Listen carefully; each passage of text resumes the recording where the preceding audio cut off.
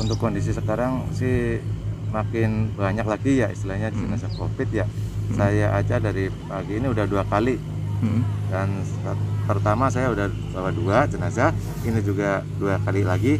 Mungkin nanti balik lagi ke sana ke RSUD juga bawa lagi begitu. Hmm.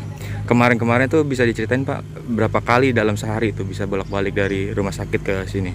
Kita kan kerjanya istilahnya per tim ya Mm-mm. kalau pokoknya kalau di sana masih ada jenazah ya pasti ter bolak balik terus sampai jenazah habis Mm. sampai selesai gitu soalnya pedurean ini kan tentunya jam 5 jam 5 sore Jam 5 sore. Nah selama jam 5 sore tuh berapa kali tuh?